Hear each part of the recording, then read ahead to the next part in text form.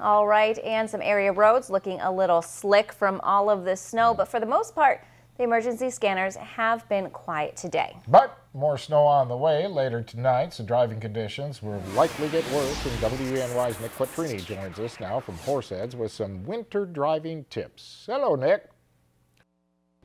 How you doing, Renata and John? I'm here live at Hanover Square, and as you can see behind me, traffic is moving slowly but smoothly. Most area roads are clear, but a good portion of secondary roads and streets are still a little slippery.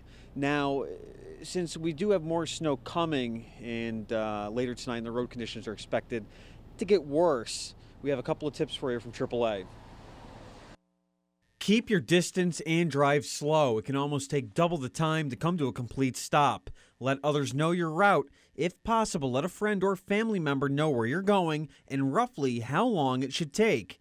And stay home. If you don't have to drive, don't. You may be a good winter weather driver, but others might not be. Now, for some things you should have in your car a fully charged cell phone with a power adapter in case you need to call for help at least a half a tank of gas to prevent your fuel system from freezing, and lastly, bring some food, water, and blankets for any long distance winter trips.